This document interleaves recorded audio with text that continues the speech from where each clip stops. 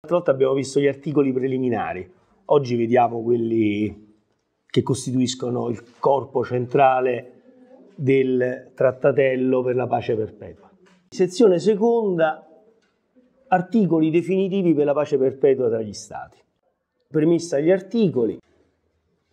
Kant afferma che la pace non si ritrova allo stato di natura, anche se, come vedremo nel primo supplemento, la natura opera in modo che l'uomo possa essere messo in condizione di realizzare la pace perpetua. Essa, la pace, è un prodotto artificiale. Lo stato di pace deve essere dunque istituito e compete alla libera scelta dell'uomo. E qui siamo in linea con la visione di Hobbes. Lo Stato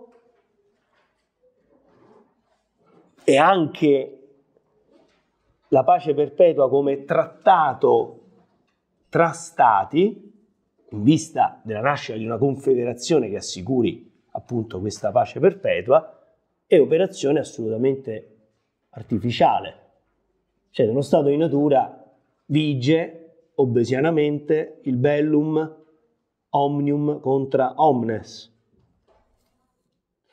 Tuttavia, si aggiunge in, tra parentesi, tuttavia la pace, anche se non è lo stato di natura, è comunque nelle corde, nella possibilità di essere realizzata.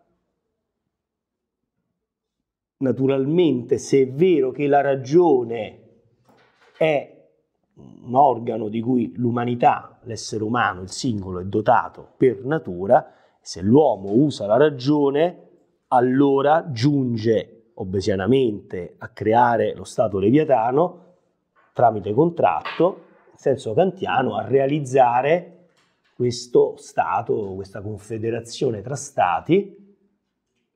Quindi diamo per scontato che gli Stati sono già nati, perché Kant si sta occupando qui di creare una confederazione, di immaginare la possibilità che si venga a creare una confederazione tra Stati, perché tra stati, vi ricordo che vige la stessa situazione che vige tra individui, obesianamente, prima della nascita dello Stato leviatano. Sono i singoli individui i quali fanno questo contratto, questo contratto fa in modo tale che essi si obblighino l'uno con l'altro a rinunciare allo strumento della violenza e quindi far nascere lo Stato civile, che poi diventa il Leviatano di Hobbes. Tra stati così nati vige, continua a vigere la guerra di tutti contro tutti. Infatti una delle funzioni fondamentali del Leviatano è quella di assicurare non solo l'ordine interno, ma anche la difesa contro attacchi che possano provenire da fuori. Mi ricordate? E quindi Kant qui sta dicendo, facendo un passo oltre, Diamo per scontato che in natura non esiste pace, quindi guerra degli individui, tutti gli individui gli uni contro gli altri, questo stato lo abbiamo superato, oggi ci sono gli stati formati e dunque dobbiamo fare il passo ulteriore, cioè realizzare questa pace perpetua tra i singoli stati. È sempre una proposta filosofica, eh? Quindi un prodotto artificiale e deve essere istituito dall'uomo. Compete la libera scelta dell'uomo. Che cosa significa? Significa innanzitutto che Kant non è, contrariamente alla visione di, un Rousseau, per esempio, o di chi in quell'epoca eh, vagheggiava un ritorno all'età dell'oro. Voi sapete che nella visione occidentale ci sono due tendenze divergenti che hanno lo stesso obiettivo. L'obiettivo è quello di realizzare qui sulla Terra possibilmente una situazione ottimale. Ottimale vuol dire di pace, di prosperità, eh, di, di abbondanza, eccetera, eccetera. Questi due stati, queste due situazioni, sono mitologicamente poste o all'inizio dei tempi, l'età dell'oro, il paradiso terrestre e così via, oppure alla fine dei tempi, o all'inizio o alla fine dei tempi. Oppure in tutti e due i casi abbiamo una situazione all'inizio dei tempi, appunto il paradiso terrestre, che viene rotta, inizia la storia e la storia è tragica, la cacciata di Adamo ed Eva dal paradiso, tu Eva partorirai tra atroci dolori, tu Adamo coltiverai il frutto della terra con il sudore della fronte. E poi c'è l'ammazzamento di Abele da parte di Caino, quindi nasce l'inimicizia, la guerra, eccetera, eccetera, eccetera. Questo per parlare della, della Bibbia. Il punto d'arrivo, quindi c'è il paradiso terrestre, che è una situazione ottimale, che però è stata rotta una volta per tutte, e c'è il punto d'arrivo, alla fine dei tempi, che è il ritorno di Cristo, l'Apocalisse, i buoni e i cattivi, dopo un periodo di grande travaglio, saranno separati dal Dio che premierà i buoni e dannerà i cattivi che in realtà si saranno dannati da soli. Quindi la prospettiva salvifica è spostata alla fine dei tempi. Quindi abbiamo o una visione progressista fondata sulla speranza, che è tipicamente cristiana, e comunque Kant è cristiano, non può non essere cristiano, va da sé. Quindi questa è una prospettiva che poi si può anche sposare in senso laico, poi vi dico in che, in che modo. Va bene? Per cui alla fine dei tempi c'è questa prospettiva e l'umanità, sempre cristianamente parlando, interagisce con il progetto divino, cioè con la provvidenza, per realizzare questo stato finale, la salvezza, eccetera, eccetera. Oppure l'altra tendenza è quella di ripristinare lo status quo ante, cioè di ritornare alla situazione, chiamiamola così, del paradiso terrestre. Abbiamo molti esempi, un esempio è quello, no, forse avete letto, eh, Virgilio,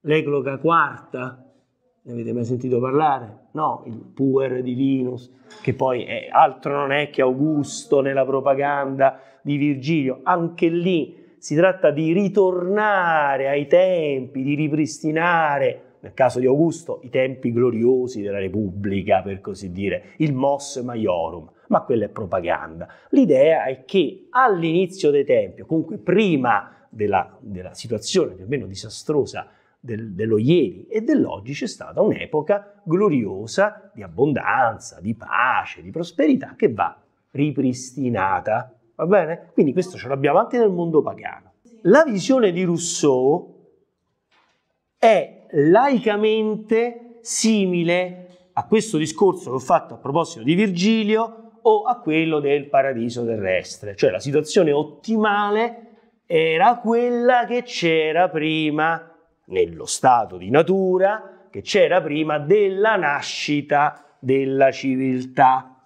E allora, contrariamente a Rousseau, che cosa significa? Che Rousseau rappresenta sempre nell'ambito del pensiero illuministico e così via, rappresenta la tendenza a ripristinare lo status quo ante, cioè a vedere nello stato di natura, che in realtà non si può del tutto ripristinare, ma insomma si può tendere a ripristinare quella che era l'uguaglianza fondamentale uomini, di cui gli uomini godevano lo stato di natura prima dell'incidente che ha portato alla nascita di questa civiltà, di questa società che è basata sulla disuguaglianza, la proprietà privata, eccetera, eccetera. Kant invece è in linea sempre con l'altra tendenza, che poi è quella predominante nel pensiero occidentale, è invece dell'idea che alla fine dei tempi, che progressivamente si arriverà ad una soluzione. Quindi partendo da una, da una situazione tutto sommato negativa, grazie sempre a Dio, ma all'uso della ragione di cui Dio ha dotato l'umanità, di cui Dio ha dotato i singoli individui, si potrà arrivare progressivamente, ma noi questa intelligenza, questa ragione, viva il Dio, la dobbiamo utilizzare a questo fine, si arriverà a migliorare sempre di più la società, a migliorare sempre più la condizione dell'umano finché ecco, arriveremo, ma insomma è un work in progress, non c'è un punto d'arrivo, si può tendere verso. Quindi quella visione di Kant è una visione progressista, progressista. Quindi stato di natura, situazione negativa, guerra di tutti contro tutti. L'uomo però è dotato di ragione, quindi grazie alla ragione esce dallo stato di natura. Stesso schema di Hobbes fino a qui.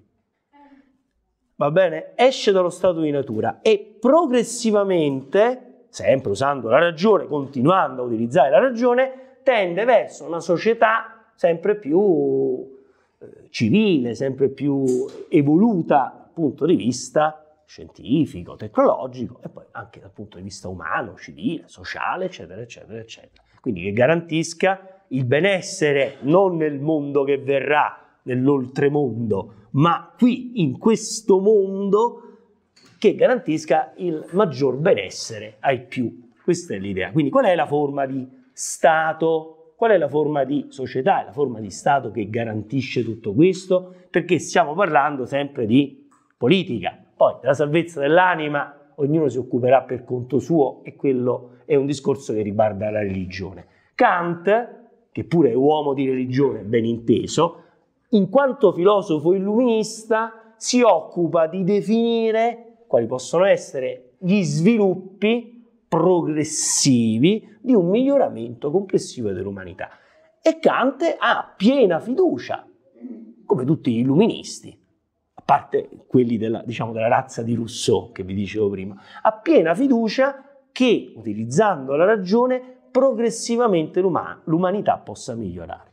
Attenzione, questa visione è rimasta praticamente fino all'altro ieri. Non è una cosa del tutto nuova, noi ancora in qualche maniera riusciamo a concepirla, anche se viviamo in un'epoca in cui effettivamente di fiducia nel futuro eh, ne abbiamo sempre di meno. Ma insomma, quell'idea che in qualche maniera è, è confortante, entro certi limiti è confortante, che ha preso il posto della religione che si basa sulla progressività delle conoscenze scientifiche e tecnologiche, per cui oggi, non so, faccio un esempio banale, quel tipo di malattie non si curano ancora, ma domani, grazie ai progressi della scienza, questo problema sarà alla nostra portata, lo potremo risolvere.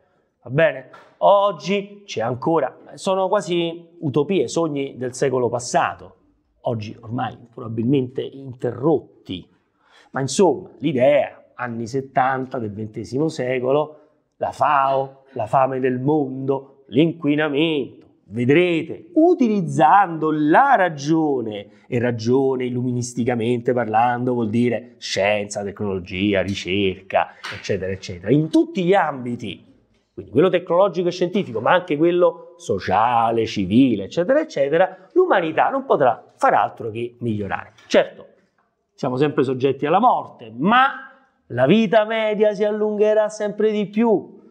Questo può promettere una filosofia come l'illuminismo, che è immanente, ma questo lo può promettere. Vivremo di più, in uno stato di benessere, di welfare decisamente migliore, i giovani avranno più possibilità in termini lavorativi, in termini di autorealizzazione e potranno, come recita anche la Costituzione degli Stati Uniti d'America, che è un capolavoro di epoca illuministica, eh, è stata scritta quando Kant sta concependo queste idee alla fine del periodo illuministico. Quindi ciascuno potrà ricercare la propria felicità. Eh, bellissimo un mondo così inteso è un mondo bellissimo. Ed è questa la fiducia che Kant nutre nell'illuminismo in generale nell'uso consapevole della ragione. Va bene? Quindi partiamo da uno stato di natura, che è uno stato assolutamente perfettibile, ma grazie agli strumenti di cui Dio ci ha dotato, potremo raggiungere livelli di benessere sempre maggiori. È evidente che in ambedue i casi si tratta di, di mitologia, insomma, mitologia, va bene? Di credenze, di visioni che hanno una loro sensatezza e sono, rispondono a due, a due modi di, di, di, pensare, di, di sentire dell'essere umano, no? Che poi si possono riassumere quando diventi un po' più vecchio, oh, ai tempi miei, quanto era bello, quando ogni tanto facciamo questo tipo di ragionamenti, quando c'era la nonna che faceva la pasta fatta, ecco, in quella maniera, fatta a mano, fatta in casa, adesso questa è una nozione gastronomica, e oggi la situazione è andata sempre peggiorando. Oh, questo tipo di discorsi, ripeto, li troviamo anche scritti in geroglifici 2000 anni prima di Cristo, in cui gli egiziani si lamentano che questa generazione di adesso il mondo è andato decadendo. E forse è anche sensato fare questo tipo di ragionamenti, perché l'umanità ciclicamente, per dirla con Vico, ha conosciuto eh, dei momenti di, di caduta e poi di ripresa, di caduta e di ripresa, no? Anche in termini demografici, climatici, le pestilenze, le guerre, eccetera, eccetera. E quindi magari quando ci troviamo in un momento di, di declino di una civiltà, è facile rimpiangere i bei tempi che furono, li rimpiangi in senso mitologico, cioè ci crei un vero e proprio mito. E quindi quei tempi che dovresti ripristinare per tornare al mosso maiorum, al costume degli avi, eccetera, eccetera.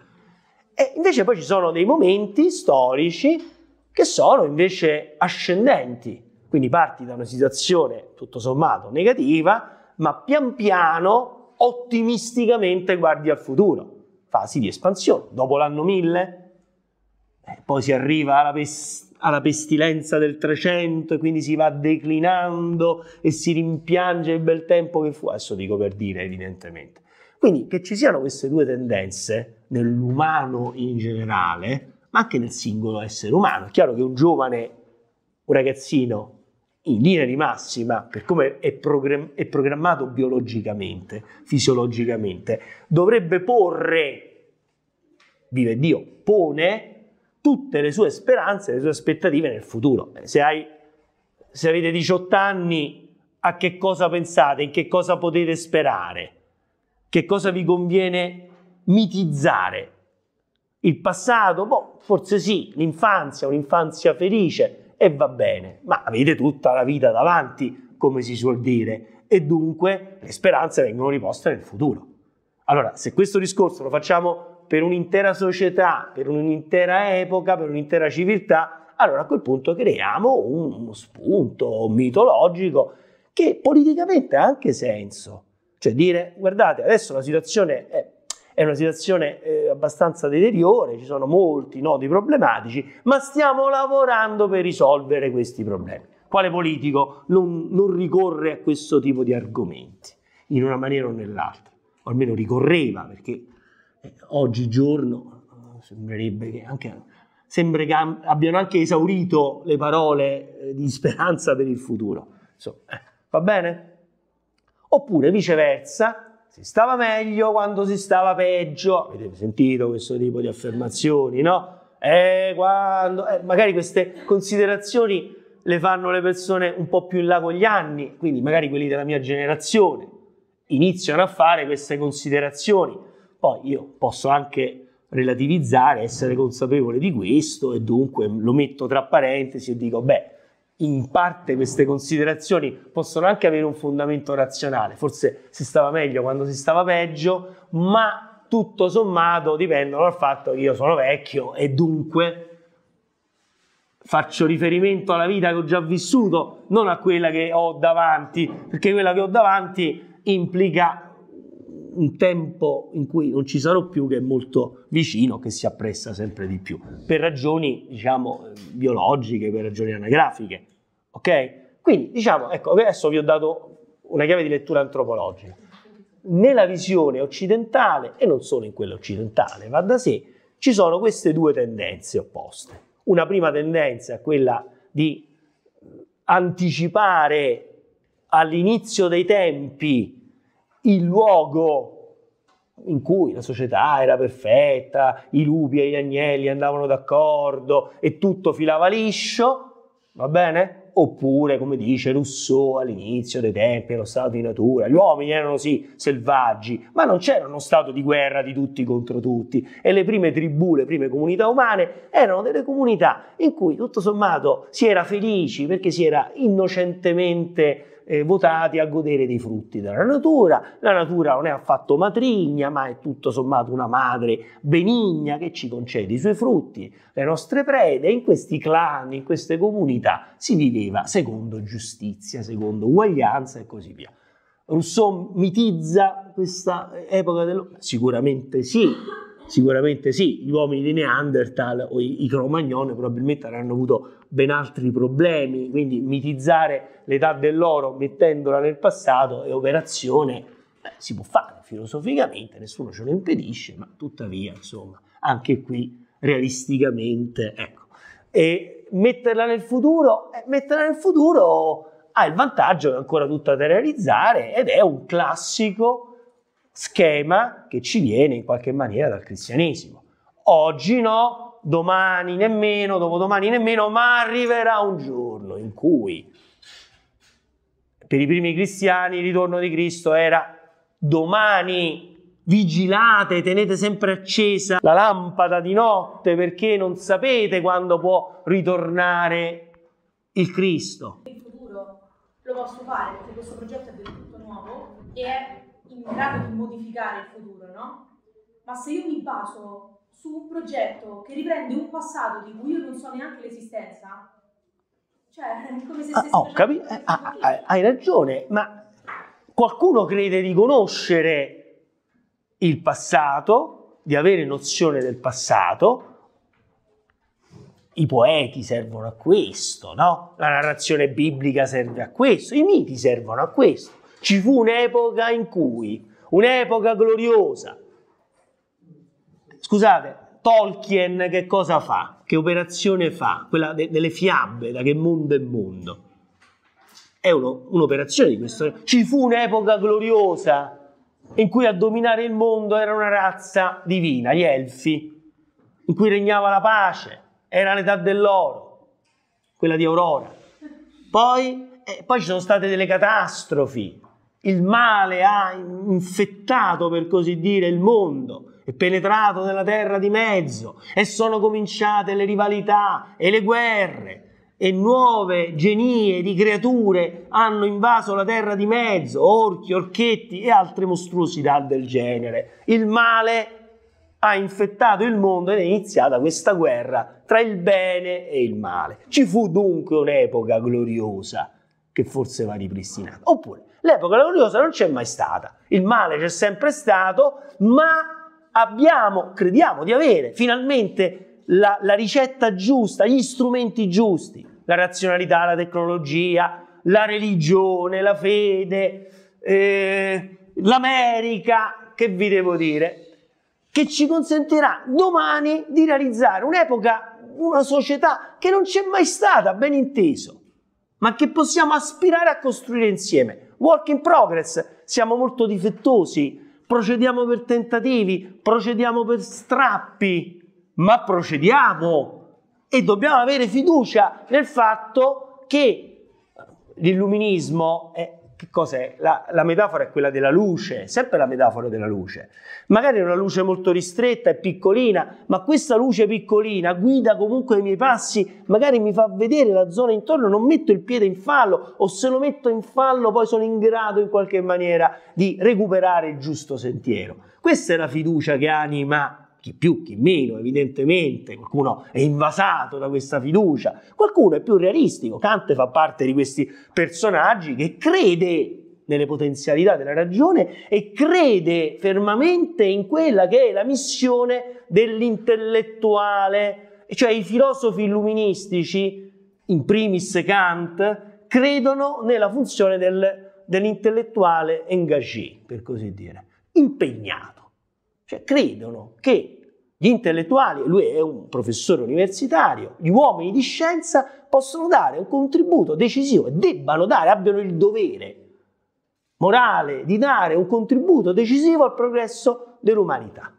Credono che la conoscenza razionale ci possa salvare. Scusate, l'uomo ha sempre creduto, forse illudendosi, nel fatto che la conoscenza ci possa salvare che sia la conoscenza di Dio, la conoscenza religiosa, i riti, una forma di conoscenza ci può salvare anche a livello individuale, a livello spirituale, no? Scusate, se uno va in terapia, il meccanismo della terapia, Freud, non funziona forse nella stessa maniera?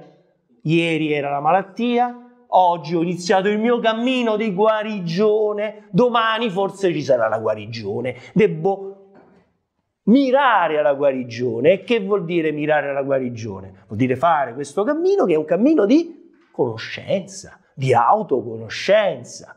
Alla fine del tunnel c'è la luce, ma non vale forse anche a livello individuale? Marx non è la stessa cosa. Oggi le contraddizioni del capitalismo, la disuguaglianza, l'uomo che opprime l'altro uomo. Domani lo costruiremo insieme, anzi è la storia che va in quella direzione. Ci sarà la società perfetta. Certo ci arriveremo attraverso una serie di travagli, perché la storia funziona per travagli, ma ci arriveremo. Comunismo, eccetera, eccetera, eccetera. Cioè i meccanismi sono sempre gli stessi.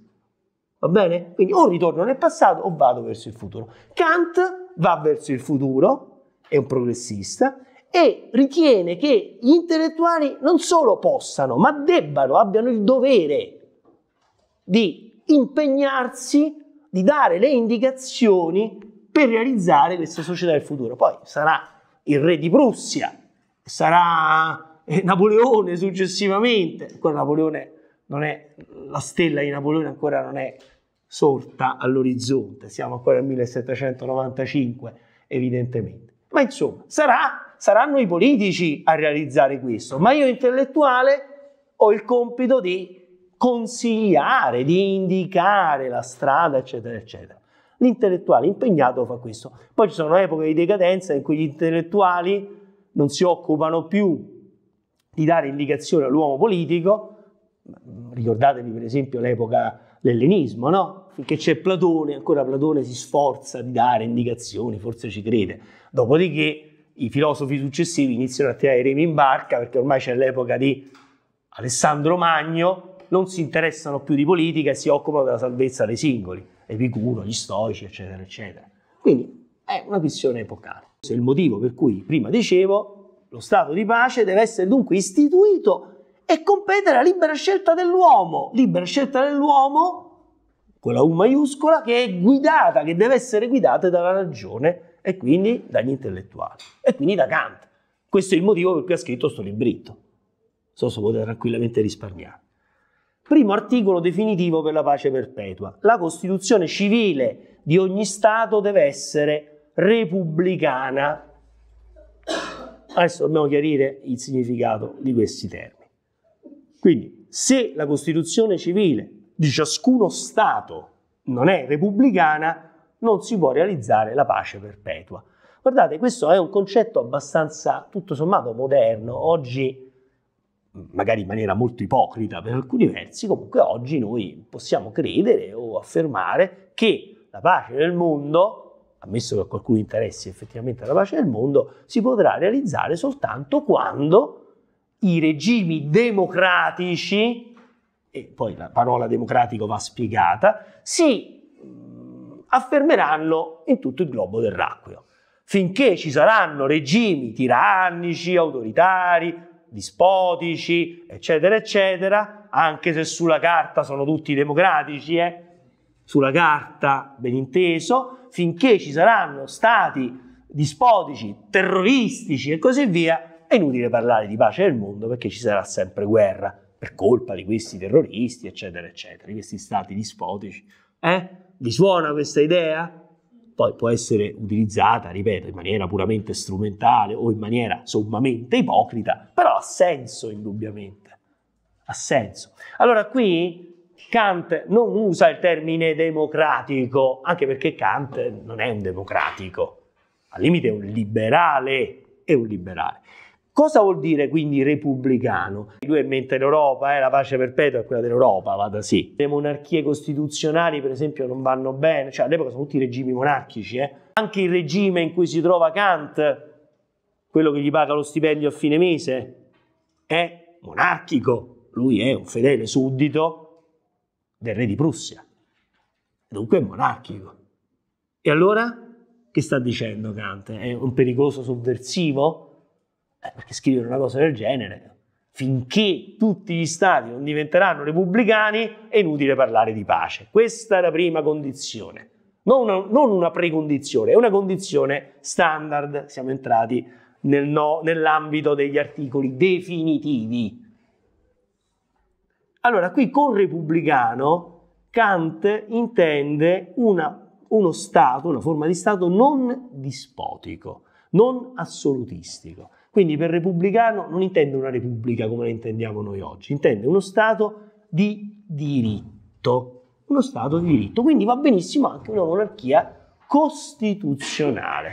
Vi ricordate qual è la differenza tra Stato di diritto e Stato assoluto? Rex facit legem, lex facit regem. Lo Stato assoluto è quello in cui la volontà del re è la legge.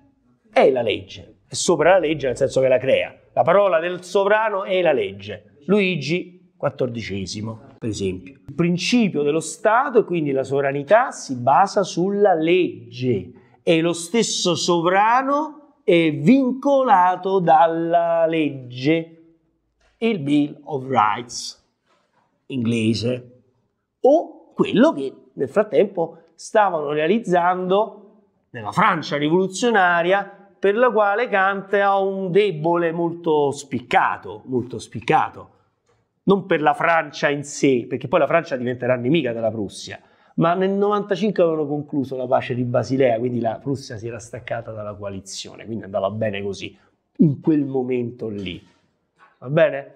E nel 91 la Francia si era data una costituzione da monarchia assoluta era diventata monarchia costituzionale. La rivoluzione aveva, diciamo, retroagito in questa maniera, cioè era andata verso il modello inglese per capirci.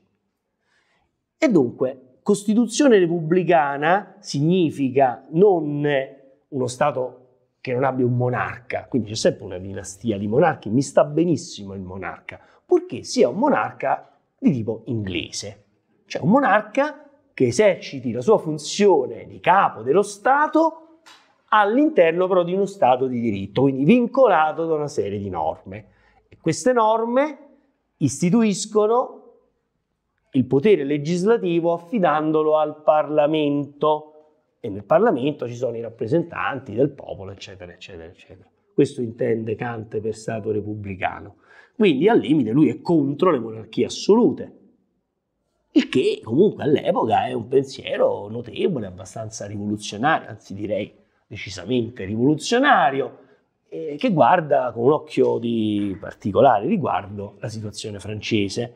Kant spera nel fatto che il progetto illuministico possa essere in qualche maniera diffuso dalla Francia rivoluzionaria, poi la Francia rivoluzionaria non si dimostrerà, diciamo, ecco, all'altezza delle speranze di Kant, poi Kant nel 1804 muore, dunque non farà in tempo a vedere l'epoca napoleonica e tutti gli sviluppi successivi.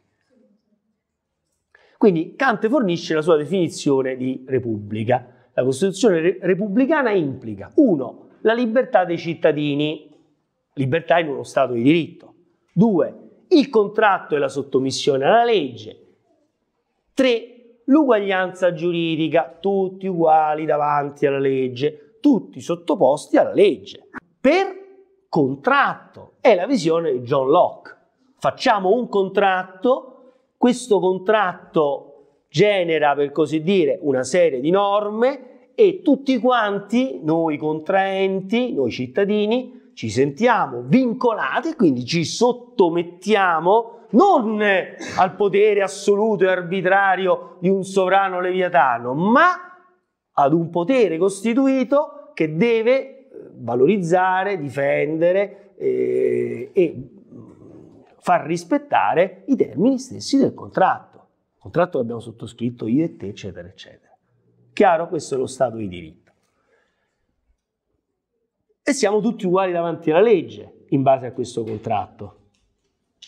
La Costituzione interna repubblicana è l'unica che può indurre uno Stato a pattuire la pace perpetua con gli altri Stati, perché sarebbe richiesto l'assenso dei cittadini per l'entrata in guerra. Questa è la speranza di Kant. speranza che poi storicamente verrà delusa a più riprese. Cioè, che cosa sta dicendo qui?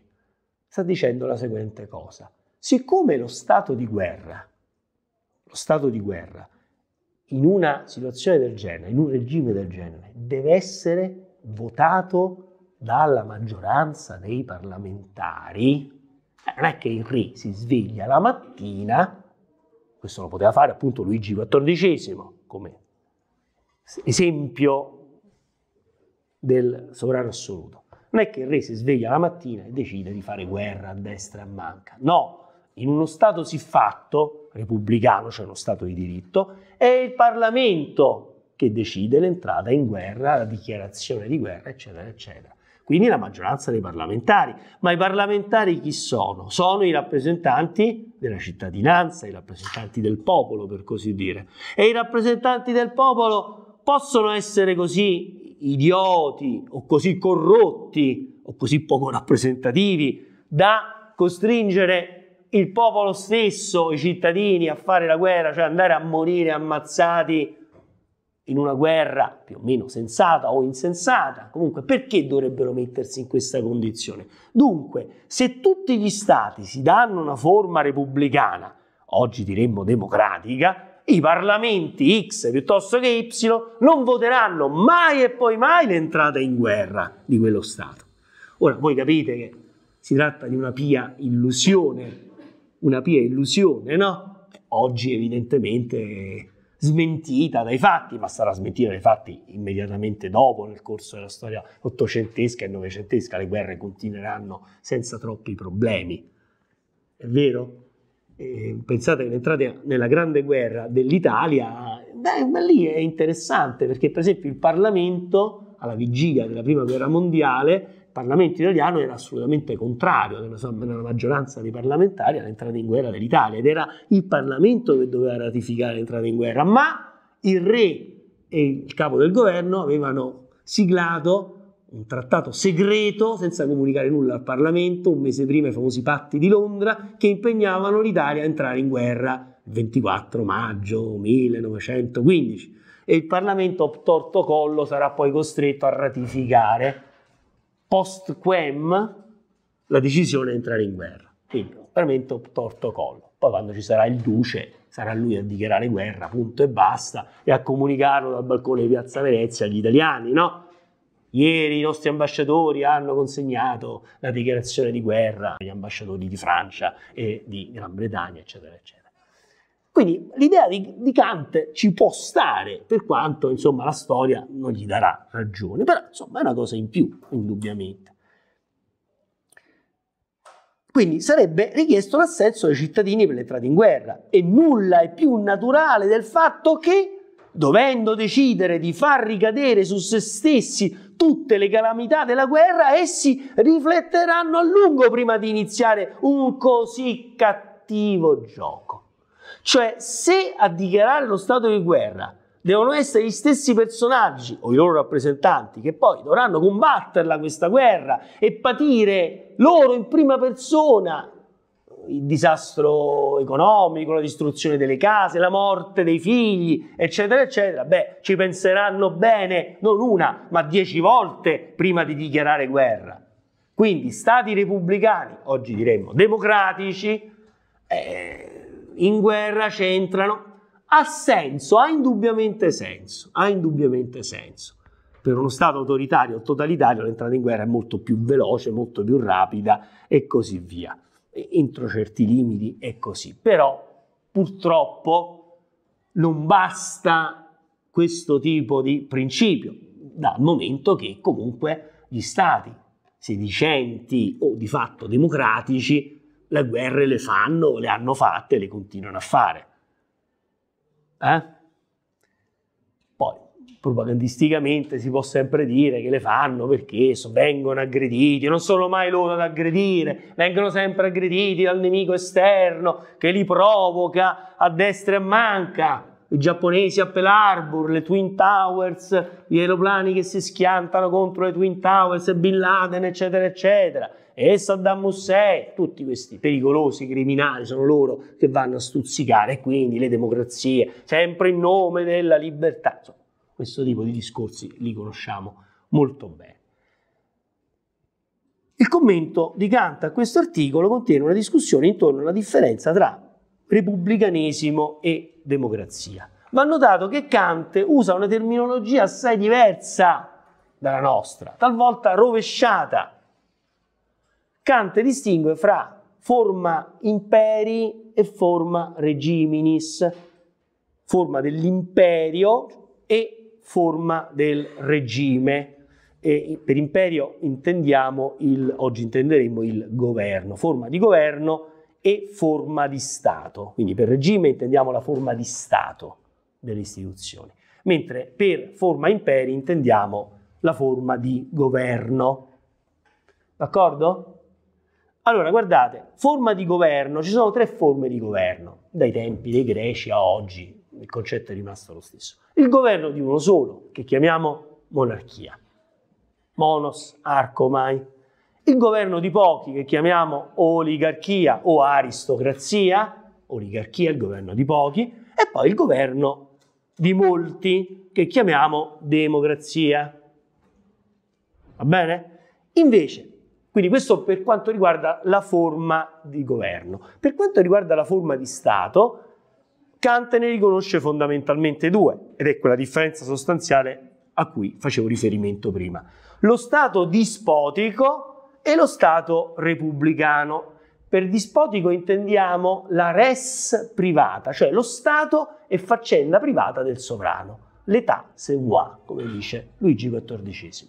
Lo Stato è il sovrano e quindi la forma di governo è affidata esclusivamente alla volontà del sovrano. La seconda modalità, Eleonora, è quella della res pubblica, cioè, non è una cosa privata Stato, del, del sovrano, ma è una cosa pubblica che riguarda tutti i cittadini. E se parliamo di res pubblica, quindi di governo repubblicano, quello che noi oggi chiameremmo democratico in qualche maniera, o liberal democratico, eh, ovvero Stato rappresentativo, eccetera, eccetera, allora c'è necessariamente la distinzione tra il potere legislativo e il potere esecutivo in base alla nota teoria di Montesquieu, no? per cui i poteri devono essere divisi e tripartiti in modo tale che l'uno controlli l'altro, il potere esecutivo, il potere legislativo e il potere giudiziario. Allora, in una forma di governo dispotico, non solo lo Stato appartiene al sovrano e la parola del sovrano è legge, ma il potere è indiviso, cioè il sovrano ha nelle sue mani il potere esecutivo, quello legislativo, cioè di fare le leggi, e il potere giudiziario, e lui il giudice supremo. In uno Stato repubblicano, così lo definisce Kant, va bene? In uno Stato repubblicano invece a essere sovrana è la legge, l'ex facit regem, e il potere è tripartito, è diviso, per cui il soggetto che ha in mano il potere esecutivo non è lo stesso che ha in mano il potere legislativo che è affidato alla Camera o alle Camere se si tratta di un sistema bicamerale, eh, Senato e Camera dei Deputati oggi, oppure Camera dei Comuni e Camera dei Lord nel sistema anglosassone, eccetera, eccetera. E allora, qual è la condizione che pone qui Kant quella che bisogna realizzare in ambito di politica interna affinché si dia la pace perpetua, si possa aspirare alla pace perpetua. Quindi il primo articolo recita così, solo quando tutto il concerto di stati avrà raggiunto o tenderà a raggiungere la forma repubblicana, solo in quel momento si potrà aspirare alla pace perpetua. Finché ci saranno stati dispotici, non repubblicani, allora la pace perpetua rimarrà ancora una prospettiva non realizzata o non realizzabile. Che tipo di condizioni ci sono quindi? Devono essere stati realmente repubblicani per come le intendiamo noi oggi? No, possono essere stati, anzi sono nella mente di Kant, stati monarchici purché siano costituzionali, parlamentari, cioè conformi alla teoria liberale, quella di John Locke o quella di Adam Smith. che è l'inventore del liberismo economico contemporaneo di Kant e così via. Libertà, quindi si intende sia in termini giuridici, in termini politici, sia in termini economici. Quindi Kant da questo punto di vista è un liberale. È anche democratico? No. Democrazia all'epoca ha un valore negativo, come ce l'aveva all'epoca dei greci.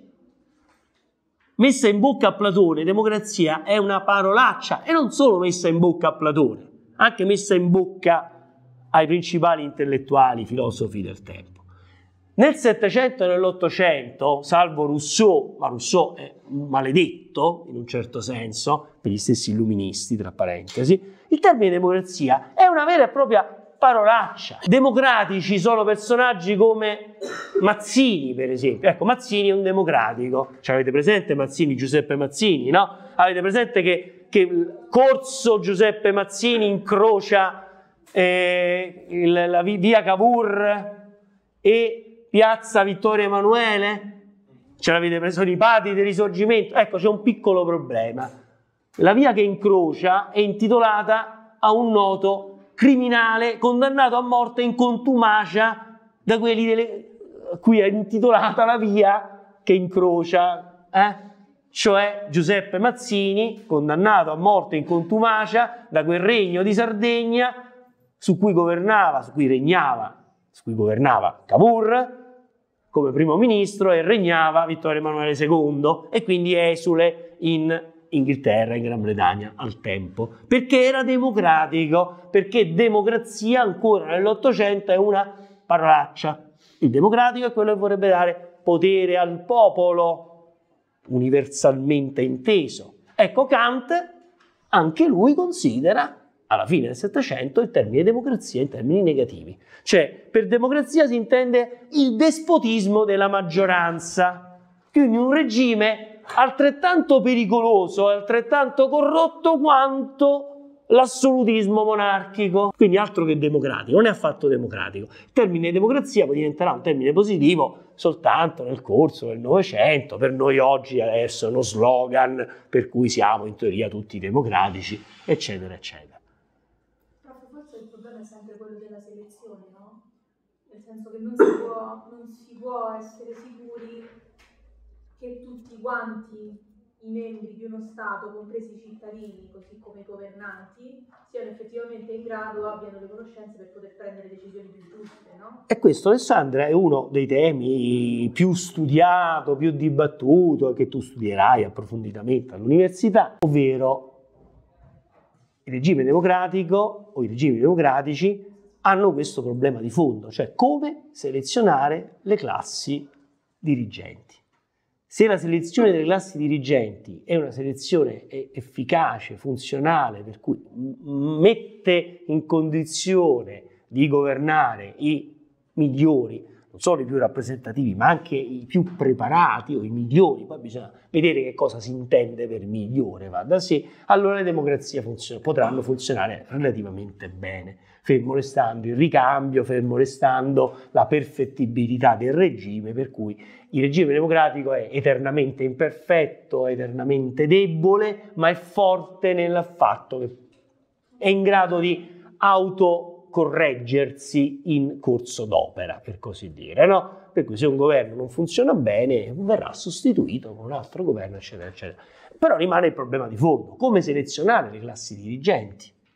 E uno, una, una delle, delle, strategie che è stata ipotizzata so, da un grande filosofo americano che si chiama John Dewey è esattamente questa, cioè avremo una classe dirigente eh, degna di nota nella misura in cui il popolo, se parliamo di suffragio universale, e all'epoca il suffragio universale al limite lo si declinava in termini maschili, poi anche femminili successivamente, sarà abbastanza preparato, abbastanza evoluto da esprimere la classe dirigente migliore. Cioè, se non puntiamo sull'educazione dei più, e quindi sulla scuola pubblica in particolare, e quindi non eleveremo il senso civico e la cultura politica dei più, mai e poi mai essi esprimeranno una classe dirigente degna di nota. Quindi una classe dirigente degna di nota deriva da un, un popolo istruito, educato alla cultura politica. Questa è un'idea che, che ha un, indubbiamente senso. Poi ci sono altri strumenti di controllo, per esempio la stampa, il famoso quinto potere, che ha una funzione o dovrebbe avere una funzione fondamentale, non di voce del padrone, ma di controllo dell'azione politica, di critica, di osservazione e di mobilitazione dell'opinione pubblica quando le cose non funzionano.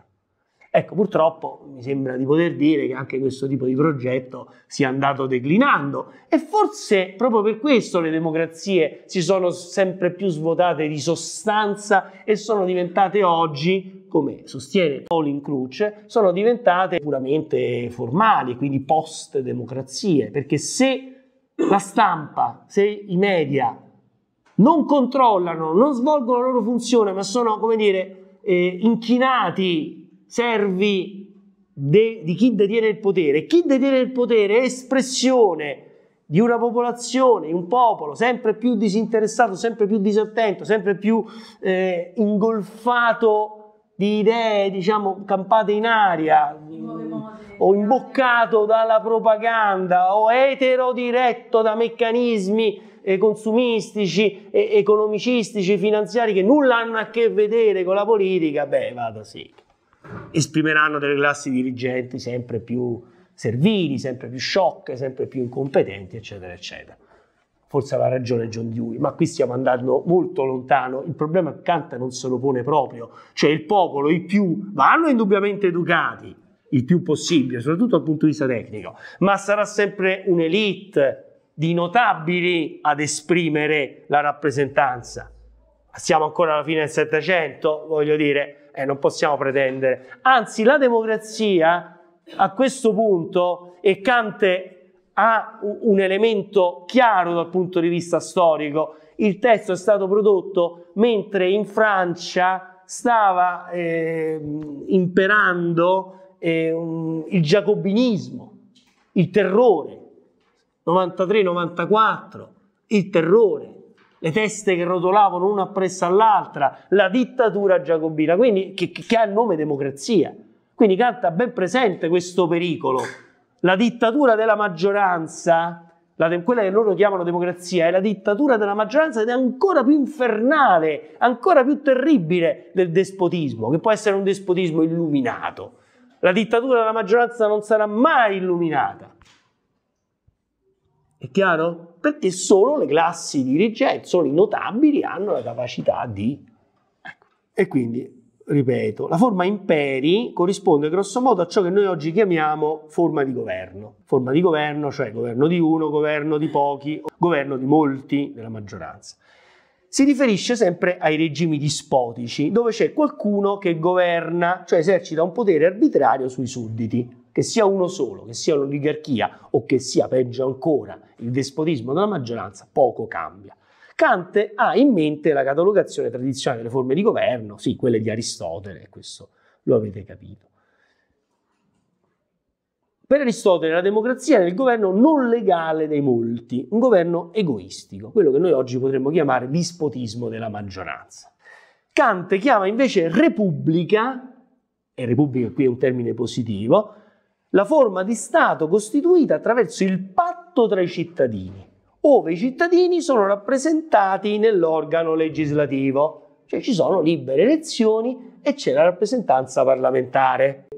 Dobbiamo cercare di utilizzare le parole eh, come le utilizzava Kant, perché se le utilizziamo dalla nostra prospettiva, che è quella di una persona del XXI secolo, evidentemente non capiamo il senso del, lui che cosa ha detto? Allora, noi oggi per democrazie che cosa intendiamo? Noi oggi per democrazie intendiamo dei sistemi, dei regimi per l'appunto, di tipo liberal democratico. Che vuol dire liberal democratico? Cosa c'è di democratico e cosa c'è di liberale? Allora, di liberale c'è l'istituto delle elezioni a decidere, a scegliere i rappresentanti che siederanno nelle assemblee legislative, ovvero uno Stato può essere liberale, ma può non essere democratico, perché il termine democrazia si associa, si associerà al concetto di suffragio universale. Chiaro? Cioè, io posso immaginare uno Stato liberale che tendenzialmente pluripartitico, cioè ci sono candidati diversi e anche visioni del mondo, visioni politiche diverse.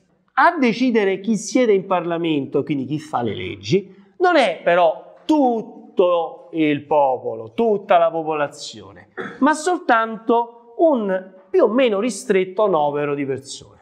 Più o meno ristretto in base a, a quale principio? Beh, il principio che si utilizzava, che è rimasto in vigore fino all'altro ieri, storicamente parlando, è quello del censo, è quello censitario, oppure quello dell'istruzione. Cioè poteva votare chi aveva un certo censo, oggi diremmo una certa dichiarazione dei redditi, se sei povero non voti.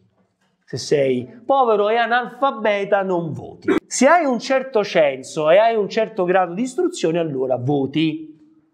Per capirci, quando nasce il Regno d'Italia, a votare è, mi pare, l'1,5% della popolazione, quindi un numero molto ristretto. Allora, un regime può essere liberale, in questo senso, ma può non essere democratico, se per democrazia intendiamo un regime che è comunque liberale, quella è una precondizione. Quindi basato sul principio di rappresentanza, di libere elezioni, del fatto che posso scegliere il partito X o il partito Y. Ci deve essere quantomeno possibilità di scelta. Quello è liberale. Se in più c'è il suffragio universale, quindi votano tutti i cittadini al compimento della maggiore età, si intende, quello è l'ultimo vincolo, l'unico vincolo che è rimasto. E I bambini, gli infanti, i neonati non possono votare, da sé. Tutti votano, indipendentemente dal loro reddito e anche, tutto sommato, dal loro grado di istruzione, anche se lo Stato ha l'obbligo, esiste l'obbligo di legge che oggi è stato portato a 16 anni, per cui le scuole devi frequentare almeno fino a 16 anni. Quindi si, si, si dà per scontato che tutti abbiano un certo minimo grado di istruzione, minimo massimo grado di istruzione. Che siano poveri in canna, che siano gravemente malati, che siano donne, uomini, indipendentemente dal, dalla razza, si usava questo termine, si usa ancora, lo troviamo ancora nella Costituzione, dal credo religioso, tutti uguali, una testa, un voto. Per democrazia oggi intendiamo questa roba qui, ma uno Stato può essere tranquillamente liberale, ma non democratico, mi spiego? E lo è stato storicamente. Oggi sulla carta tutti gli stati sono liberal democratici. Allora, lui utilizza il termine democrazia in senso negativo. Perché la democrazia può essere intesa in senso negativo? Se stacchiamo il termine democrazia dal termine liberale, allora la democrazia per come la intendiamo noi oggi in Occidente, che cos'è? È un'estensione del regime liberale ai, a tutta la popolazione attraverso il suffragio universale. Mi spiego? Ecco perché parliamo di liberal democrazia. Diverso invece un regime di democrazia popolare in senso russoiano, in senso giacobino, in senso bolscevico, in senso oggi cinese o nordcoreano. Che cosa significa? Significa che lì innanzitutto non esiste l'alternanza, non posso votare X o Y. C'è un sistema monopartitico, che sia il partito bolscevico, che sia quello giacobino. C'è un sistema monopartitico che governa e fa le leggi per conto del popolo. Per conto del popolo. E che cos'è il popolo lì? Il popolo sulla carta tutta la popolazione, ma di fatto Kant ritiene, e ha ragione se si riferisce in un certo senso al giacobinismo, è una vera e propria dittatura del partito di maggioranza. Cioè chi è che decide chi è amico del popolo e chi è nemico del popolo? Lo decidiamo noi giacobini, una ristretta minoranza. Lo decidiamo noi bolscevichi. Lo decido io Lenin, io Trotsky e poi domani lo decide Stalin o lo decide Benito Mussolini quando capo del partito fascista, diventa anche capo del governo e abolisce tutti gli altri partiti, punto. Quindi il capo del partito è anche il capo del, dello Stato e quindi rappresenta tutto il popolo. E allora lì abbiamo sulla carta una democrazia. E io governo, amministro il potere per conto del popolo, viva Dio. Anzi, ho fatto la rivoluzione proprio per il popolo. Ma quale popolo? Questo popolo che cos'è? Cioè, capite qual è la differenza fondamentale? Nella visione liberal democratica il punto di partenza è il singolo individuo, obesianamente e locchianamente inteso. Il singolo individuo che fa un contratto con gli altri individui e delega il potere a. Se io invece intendo la democrazia popolare non come declinazione e accordo tra i singoli individui, ma come sapete, termine popolo, gente, volgo, eccetera, eccetera, sono dei singolari plurali. Lo intendo come un'unica testa, come un'unica entità. Il popolo. E chi è il popolo? È chiaro? E quindi la mia visione è quella del popolo. Dunque sono oltremodo democratico, ma sono veramente democratico? Secondo le chiavi di lettura liberal democratica, quella di origine locchiana, Manco per niente, anzi il contrario, la dittatura della maggioranza. Ecco perché Kant qui dice democrazia uguale dittatura della maggioranza. Va bene? Siamo alla fine del Settecento, Kant oh, evidentemente ha sotto gli occhi quella realtà, non può immaginare scenari da XX e da XXI secolo, viva Dio, e meno male per lui, in un certo senso. Quindi quello che lui ha davanti è due forme di regime, quello dispotico, quello che lui scarta per così dire, e quello liberale, quello repubblicano, che lui chiama repubblicano. E quello repubblicano è basato su libere elezioni, fermo restando che il diritto a votare è riservato soltanto ad una minoranza della popolazione, cioè quella che ha un certo censo, un certo grado di istruzione. Ma insomma, ad aumentare il livello di istruzione della popolazione come dire, illuministicamente ci stiamo lavorando con l'enciclopedia, con l'opinione pubblica che andiamo rafforzando a destra manca, cioè rientra nel progetto illuministico. Chissà che un domani non si allarghi ulteriormente, che la gente non diventi più ricca complessivamente. L'idea, la speranza è quella, ma non tutto il potere al popolo, al volgo, ai... ecco, che può essere manovrato e i più sono così. Poi Kant può, come dire, essere, avere una visione progressista e quindi illuministicamente sperare, immaginare scenari in cui il suffragio piano piano si allarghi. Quanto si allarghi? Beh, di acqua sotto i ponti ne dovrà ancora passare parecchia. Quindi per il momento, all'epoca di Kant, democrazia, come vi ho detto prima, è ancora una parolaccia. È ancora una parolaccia. Per noi non lo è più, anche se oggi purtroppo se per democrazia intendiamo soltanto la democrazia in termini puramente formali, sta quasi diventando una parolaccia, non è una parolaccia, ma evidentemente svuotata di sostanza, eh beh, diventa qualcosa di piuttosto farsesco. Ecco, andrebbe recuperata la polpa, la sostanza. Il concetto di democrazia diciamo che tende anche un pochino a perdere mm. di valore se si ampliano troppo gli orizzonti, perché era nata, questa forma di governo era nata per una cittadina in cui tutti più o meno si conoscevano, tutti sapevano. Brava, certo. E tutti partecipavano e se non partecipavi ti venivano proprio a prendere. Bravissima, infatti Rousseau quando parla di democrazia non intende la Francia, l'Europa, intende Ginevra, intende la piccola città, la piccola comunità che era poi lo stesso modo in cui lo intendevano i greci. Atene, Tebbe, che, che ne so. Ecco, la dimensione è quella. Certo, e attenzione, poi c'è anche un'altra distinzione, democrazia diretta e la nostra invece è una democrazia indiretta, quella che ha in mente Rousseau e che qui Kant sta criticando è la democrazia diretta, quella assembleare, cioè che il popolo possa riunirsi tutto insieme. Ma quante persone si possono riunire tutte insieme? 5.000, 10.000, 1.000?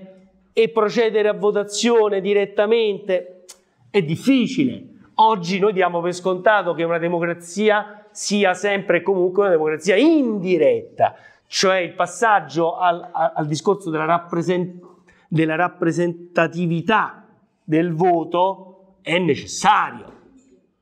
Vada sì, eh, questa è un'altra cosa importante. Però, capito qual è il problema? Il punto è, per dirla con Dewey o con Kant e così via, è che la gente si dovrebbe interessare a questi argomenti. Se non ti interessi alla cosa, il potere comunque andrà per conto suo. Di fatto è quello che sta avvenendo. Cioè tu ti interessi a TikTok, a Black Friday, fermo restando e poi ti fregano in un'altra maniera. Pensi di essere libero e di raggiungere un qualche tipo di benessere di felicità comprando, accontentando di altre stupidaggini, intanto il potere ti fa la cresta e ti, ti cammina in testa. E dunque forse il sogno, l'utopia del, del, progressismo kantiano, dell'illuminismo, si è decisamente arenato contro questo scoglio oggi. Quindi non ha, non ha, più mordente. La politica è morta perché a nessuno interessa più di tanto, anzi non interessa più niente. Siamo ingolfati di altre cose, nessuno più ha fiducia, ed è forse un segno dei tempi, nel fatto che la politica praticata, non solo detta, ma prima bisogna quantomeno capire le parole della politica. Noi, io sto cercando disperatamente, quantomeno in maniera critica, di da dotarvi delle parole, del lessico minimale per poter dire e capire la politica. Secondo articolo, il diritto internazionale deve essere fondato su un federalismo di liberi stati. Qui stiamo parlando di diritto internazionale. Allora, vedete, come possiamo realizzare la pace perpetua? Allora, in primo luogo, parliamo di ordine interno, tutti gli stati devono essere stati repubblicani. Se ci sono stati autoritari o dispotici, è inutile parlare di possibilità di pace perpetua. Poi, come facciamo a eliminare lo spettro della guerra? Dobbiamo costituire una federazione di liberi stati e quindi più che una federazione qui parliamo di una confederazione, visto che si tratta di liberi stati che rimangono poi ognuno sovrano a casa sua. Come gli individui si danno una Costituzione, così i popoli organizzati negli Stati, onde evitare il conflitto, devono darsi una Costituzione. Questa Costituzione dei popoli, tuttavia, non può essere simile alle Costituzioni che istituiscono una sovranità. Deve essere dunque federale, cioè il modello è lo stesso modello di Hobbes, quello che va, vale per gli individui. Come facciamo a imporre la pace? Beh, dobbiamo fare un contratto tra singoli individui. Qui il contratto deve essere fatto tra stati. Ma siccome deve essere fatto tra stati e gli stati non possono rinunciare alla loro sovranità, allora è necessario che lo Stato sia uno Stato federale, in cui ciascuno di questi eh, stati deve rimanere libero e sovrano.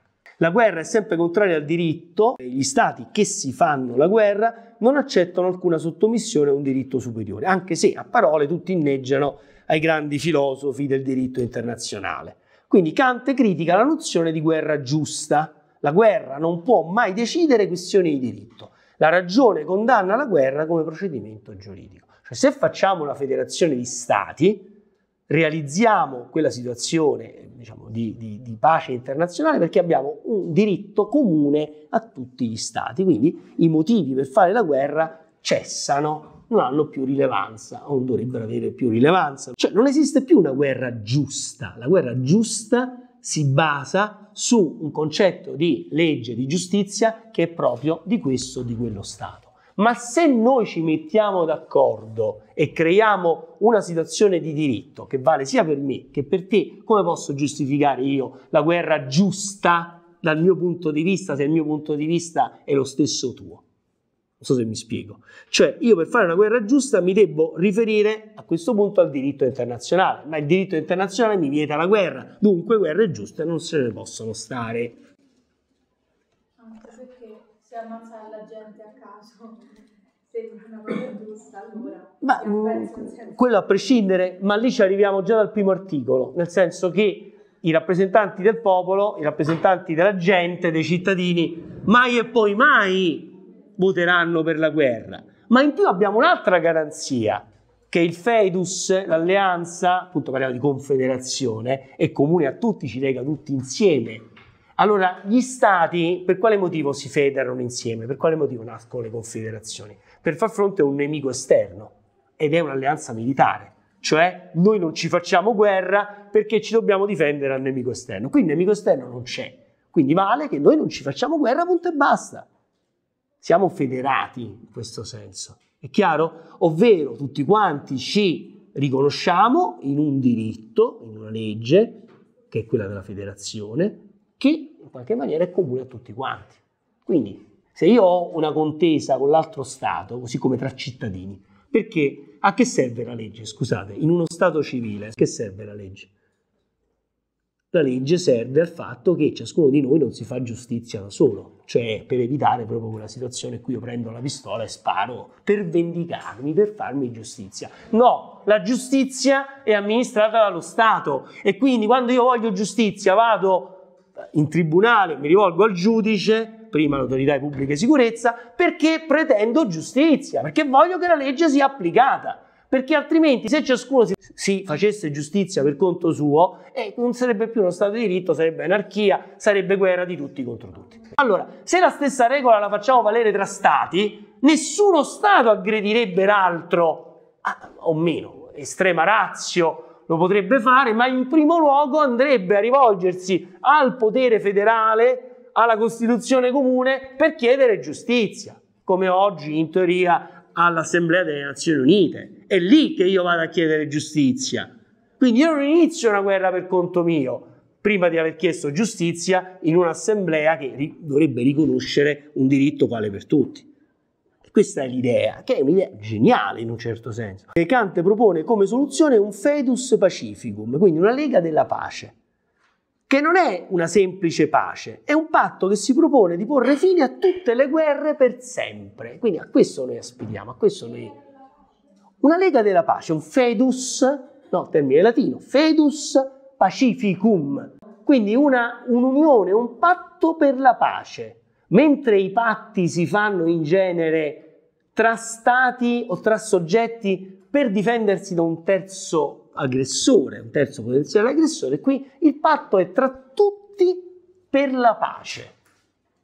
Fermo restando che lo devono fare tutti, cioè non ci stanno terze posizioni. Lui propone questo discorso a livello europeo.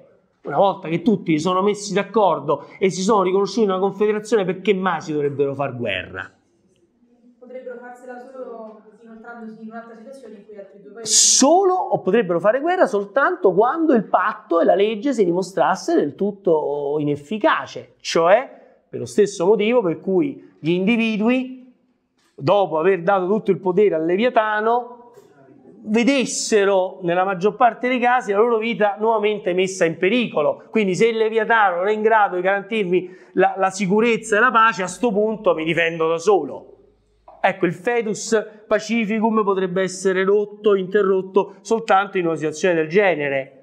Ma se tutti gli stati sono repubblicani e quindi tutti sono tenuti sotto scacco, sotto controllo da libere elezioni. Diciamo che la questione potrebbe essere un'altra, no? Potrebbero due paesi facenti parte della stessa confederazione finire per, tra virgolette, finanziare no? a livello militare altri due paesi che sono in contesa, però a quel punto interverrebbe sempre la confederazione cioè tu non sì, sì, ma, nessuno e tu non le dai ma qui la, qui la, confederazione è tra tutti gli stati. Stiamo parlando di una dimensione che Kant immaginava europea, così come oggi parliamo dell'Organizzazione delle Nazioni Unite, che comprende tutti gli stati del mondo, compreso Repubblica di San Marino, Stato città del Vaticano, per dire, ecco. Quindi se tutti gli stati del mondo sono rappresentati, in teoria gli unici nemici che rimangono fuori sono gli alieni, e manco tanto. Eh. E manco tanto, adesso ho usato il termine alieni, i marziani, ma infatti scusate, Hollywood in periodi in cui magari c'erano più i nemici ufficiali, prima di inventarsi, prima che cessassero di essere nemici sovietici e prima che iniziassero ad essere nemici vari terroristi, arabi e così via, islamici,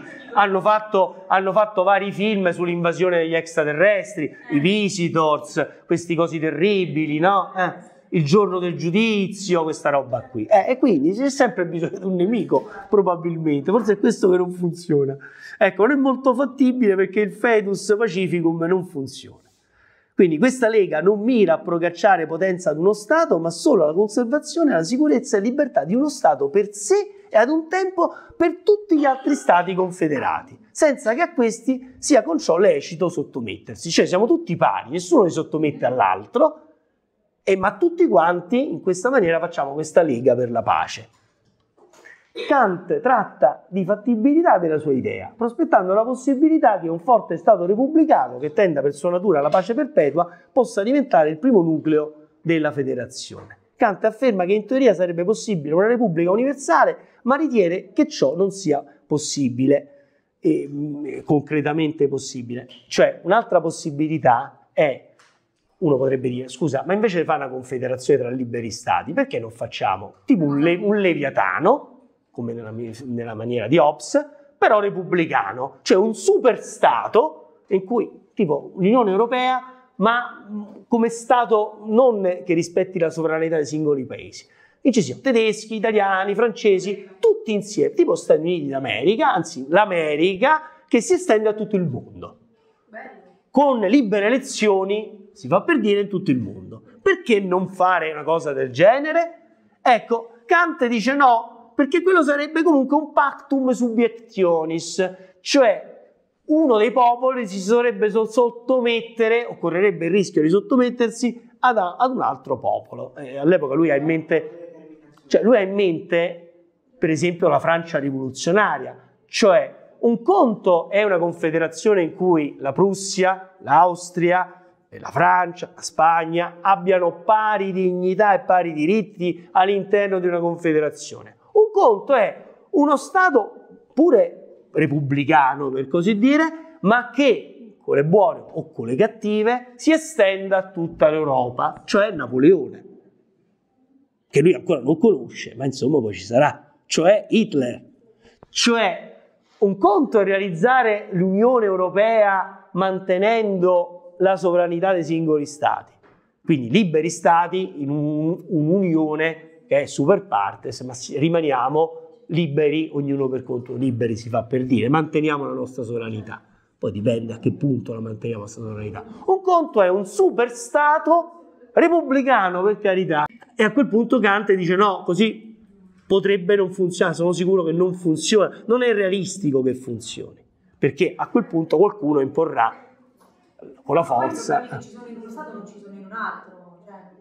Cioè, certo. In un territorio non possono essere anche in un altro, allora che fai? Uno dell'Italia o Francia? Infatti, uno dei problemi fondamentali dell'Unione Europea, tra i tanti problemi, è stato e continua ad essere il fatto che quando si è fatto l'euro, e poi l'Unione Europea è un'unione fondamentalmente economica, si è scelta una politica economica in particolare, a discapito degli altri, cioè l'economia e la situazione italiana, quella della Grecia, quella del Portogallo, erano ben diverse e continuano a essere ben diverse sotto vari profili, fiscale, industriale, imprenditoriale, finanziario, da quello della Germania, da quello della Danimarca, da quello dei paesi del nord. Infatti la Gran Bretagna si è svincolata e se n'è andata, poi non aveva mai aderito all'euro, tra parentesi. Allora, se il modello che abbiamo in fin dei conti sposato, era il modello dominante, cioè quello tedesco, e quindi tutto il resto d'Europa si è dovuto uniformare più o meno a quello tedesco, facendo gli interessi dell'economia tedesca, che ha danneggiato indubbiamente gli interessi della politica economica italiana piuttosto di quella portoghese e così via. Cioè alla fine c'è un modello dominante, uno che è più forte dell'altro e che impone la propria politica agli altri.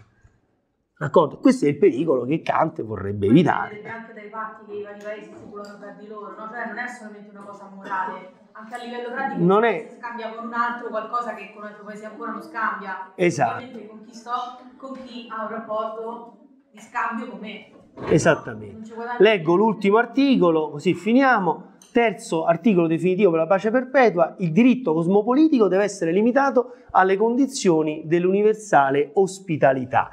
E questo è veramente enorme, questo diritto, perché apre, questo, questo terzo articolo, perché apre alla posizione ai terzi. Perché fino adesso abbiamo parlato del singolo Stato che deve essere repubblicano, del rapporto tra Stati che si deve basare sulla confederazione e qui si parla della universale ospitalità e di diritto cosmopolitico. E qui è, è modernissimo, è, anticipa quasi i diritti umani. Il diritto cosmopolitico che vuol dire? Vuol dire che tutti gli esseri umani, che siano francesi, italiani, indiani, pakistani, cinesi, o apolidi, hanno i medesimi diritti per natura, in quanto esseri umani. Sono i cosiddetti diritti umani e queste condizioni si basano sull'universale ospitalità, cioè questa confederazione, una volta nata, si apre, come almeno sulla carta l'Europa oggi,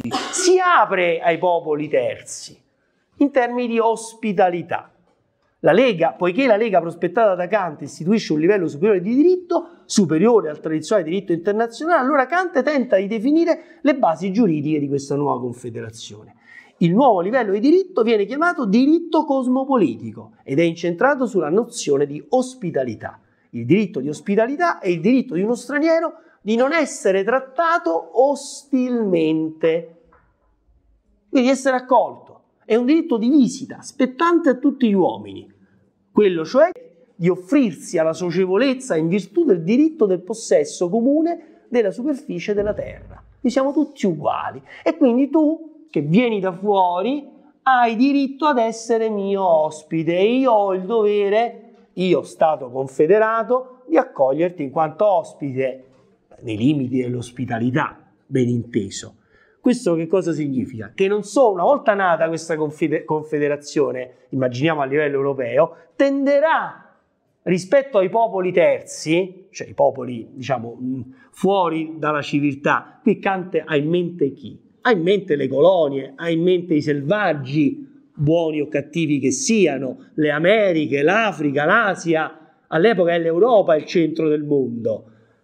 E quindi che cosa sta dicendo Kant? Sta dicendo che questa confederazione, se non vuole poi evitare diventare motivo di guerra con altre realtà, con altri futuri stati, deve basarsi sul diritto cosmopolitico, estendere questo diritto al resto del mondo.